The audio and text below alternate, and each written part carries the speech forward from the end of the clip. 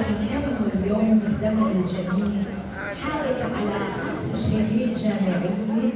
ثلاثة ماجستير ثلاثة ليسانس ماجستير دكتوراه ورث عن والده روح امريكتي يلي كان يعمل مقالب مع أصحابه. بالمدرسة نظم حفلات وبالجامعة قلد اساتذته شارك بدور كثير صغير ايفات روسوا واثرياء الحرب